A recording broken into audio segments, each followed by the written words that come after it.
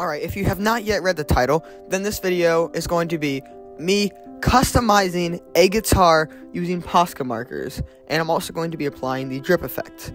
So, let's get into it.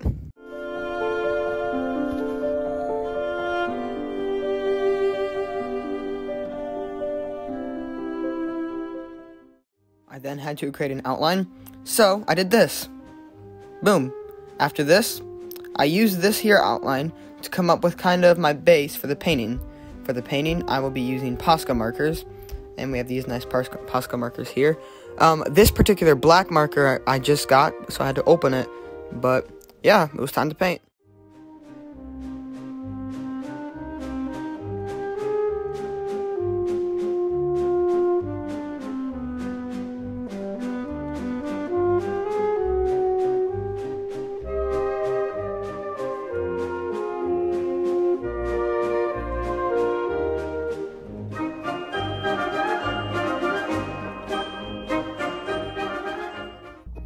All that I had to do now was just ink. So I got these markers all juiced up and I got started.